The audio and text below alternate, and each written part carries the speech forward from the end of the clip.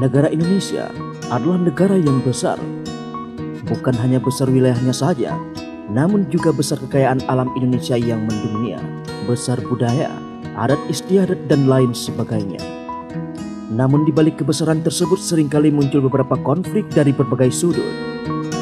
Memang bukanlah hal yang mudah untuk merawat negara dengan wilayah yang sangat besar dan rakyat yang sangat banyak. Seringkali didapati berbagai kekurangan di berbagai bidang bagi negara berkembang. Misalnya di pembangunan infrastruktur yang kurang merata, pembangunan fasilitas pendidikan, kesehatan dan teknologi yang juga kurang merata sehingga terkadang menimbulkan berbagai kecemburuan sosial. Terlebih lagi jika kekayaan alam lokal diambil dan kemudian dimanfaatkan untuk kepentingan orang-orang yang ada di luar wilayahnya. Terlebih lagi, jika kekayaan alam lokal diambil dan kemudian dimanfaatkan untuk kepentingan orang-orang yang ada di luar wilayahnya. Di samping alasan-alasan tersebut, ada beberapa alasan lainnya yang memicu berbagai kontra antara rakyat dan pemerintah. Salah satu bentuk aspirasi kontra antara rakyat dan pemerintah adalah gerakan rakyat untuk menuntut kemerdekaan wilayahnya. Di era pemerintahan Presiden B.J. Habibie, Indonesia telah kehilangan satu wilayah negaranya, yakni Provinsi Timor Timur yang sekarang kita kenal sebagai negara Timor Leste. Selepas itu, beberapa tahun lalu, muncullah gerakan-gerakan kedaerahan lainnya yang juga menuntut untuk melepaskan diri dari Indonesia dan membentuk pemerintahan sendiri. Salah satu gerakan yang populer adalah GAM atau Gerakan Aceh Merdeka. Selain itu, masyarakat lain yang juga menuntut kemerdekaan bagi wilayahnya adalah Papua yang dilakukan oleh masyarakat lokal Papua yang dikenal sebagai Papua Barat. Nah, pada kesempatan kali ini, mari kita sama-sama membahas mengenai alasan-alasan apa saja yang menyebabkan Papua Barat menuntut kemerdekaan atas wilayahnya. Seperti yang kita ketahui bersama, bahwa Papua merupakan salah satu provinsi negara Indonesia yang memiliki luas wilayah yang besar. Selain wilayahnya yang besar, bumi Papua juga merupakan salah satu provinsi yang memiliki sumber daya alam melimpah ruah. Tidak hanya hutan yang begitu lebat, namun juga kekayaan bahari yang sangat melimpah dan juga indah. Terlepas dari itu pula, bumi Papua juga merupakan tambang emas karena kandungan berbagai tambang yang sangat melimpah seolah tidak akan pernah habis. Namun terlepas dari itu semua, perkembangan wilayah Papua justru terkesan lebih lambat dari wilayah lainnya. Dan penduduk asli Papua kini hidup berdampingan dengan masyarakat dari wilayah lain. Setidaknya, ada beberapa hal yang menjadi alasan masyarakat Papua ingin mencapai kemerdekaan, antara lain sebagai berikut. Pertama, Papua merasa dirugikan oleh arus imigran yang rutin dari daerah Indonesia yang padat. Pulau Papua memang sebuah pulau yang sangat besar dengan jumlah penduduk asli tidak begitu banyak.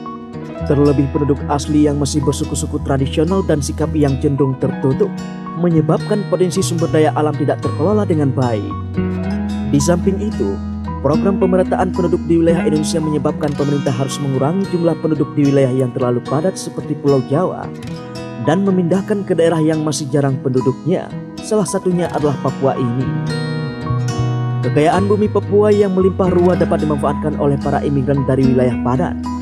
Dengan berbekal kemampuan, baik pengetahuan maupun keterampilan yang cukup memadai, maka potensi sumber daya alam Papua bisa dimanfaatkan dengan lebih optimal.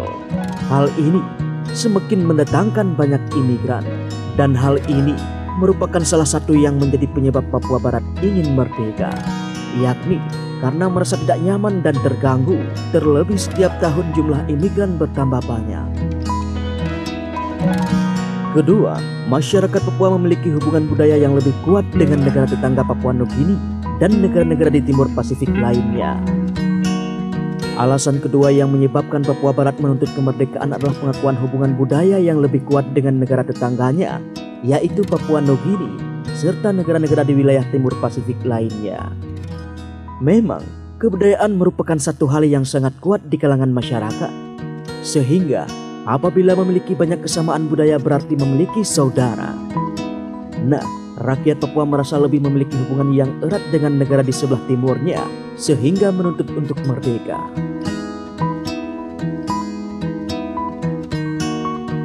Di urutan selanjutnya, sejarah kemerdekaan Indonesia yang awalnya tidak termasuk wilayah Papua.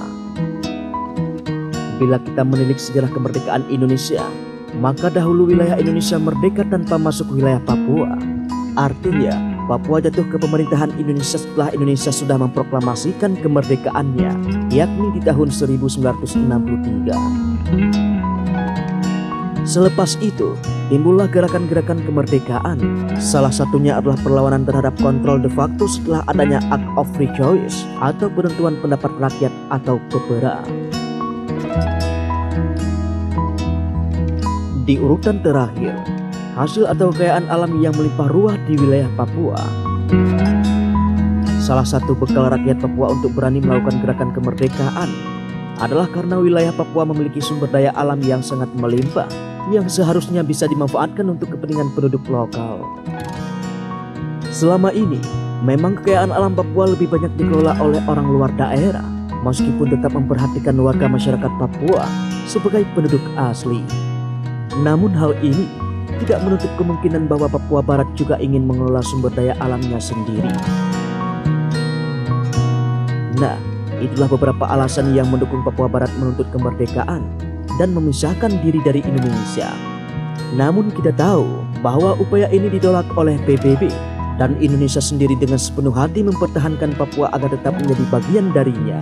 Nah, itulah beberapa alasannya. Semoga apa yang kami sampaikan bisa bermanfaat.